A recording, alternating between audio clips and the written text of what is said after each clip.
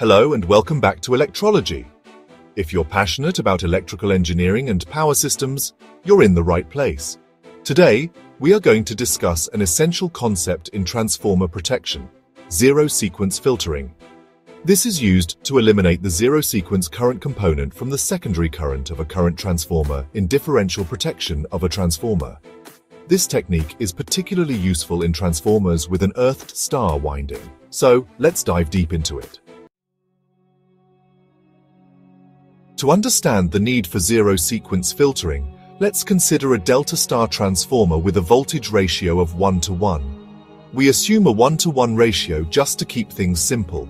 Now, suppose a single line to ground fault occurs in the R phase on the secondary side of the transformer. As we know, a ground fault causes fault current to flow through the R phase, which consists of zero sequence I0, positive sequence I1, and negative sequence I2 current components. However, the zero sequence current I0 flows only on the earthed star side of the transformer and does not appear on the delta side. Instead, it circulates within the delta winding. This means that the line currents on the delta side do not contain any zero sequence current. This creates an imbalance in the differential current, which may cause the differential relay to trip even in a through-fault condition. Let's understand this with numerical data. Assume that the fault current is 100 amperes. This current flows through the ground and the RN winding on the star side. Since a single line-to-ground fault consists of equal positive, negative, and zero sequence components, the zero sequence current will be I0 equals one-third of 100 plus 0 plus 0, which equals 100 divided by 3. Now, as 100 amperes flows in the RN winding of the star side, the corresponding delta side winding AB also has 100 amperes flowing, as the voltage ratio is unity. The zero sequence current component of I0 ampere will circulate within the delta loop.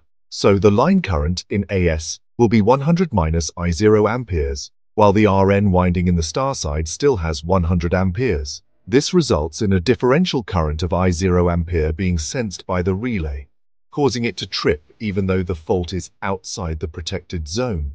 This is why zero-sequence filtering is necessary in the differential protection of delta star and star delta transformers to keep the differential relay stable during through-fault conditions. In star-star transformers, zero-sequence filtering may or may not be required, but it is recommended to enable it.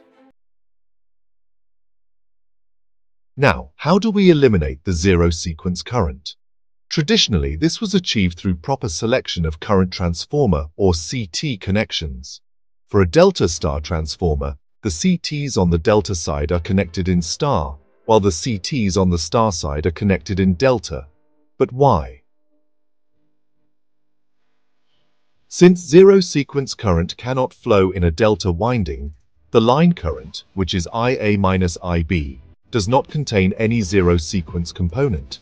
This means that the CT secondary currents, I1, I2, and I3 on the delta side, will also not have zero-sequence current components. You might wonder why we don't connect these CTs in delta. Well, in transformer differential protection, phase correction is required due to the 30-degree phase shift between delta and star.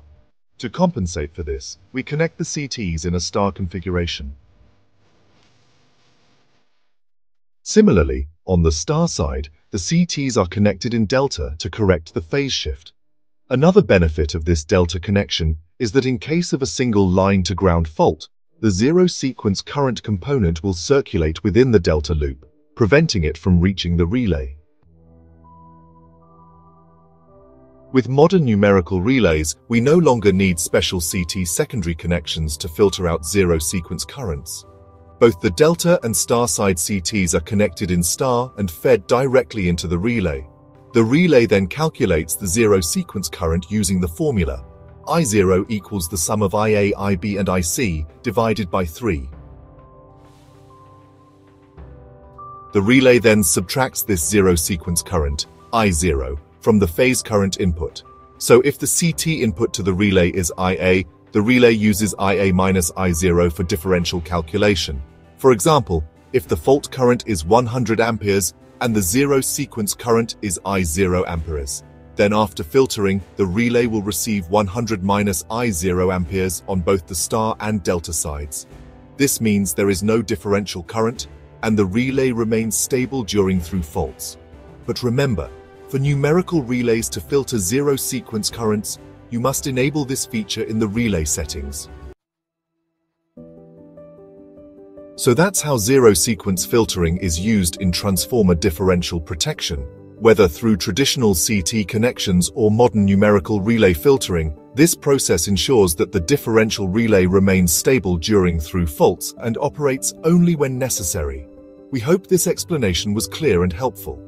If you found this video informative, don't forget to hit the like button, share it with your friends and drop a comment if you have any questions. Also, if you enjoy our content, you can support us by clicking the thanks button for a one-time contribution or joining our channel for exclusive perks. Subscribe to Electrology and hit the bell icon for more insightful videos on electrical engineering and power systems. See you in the next video.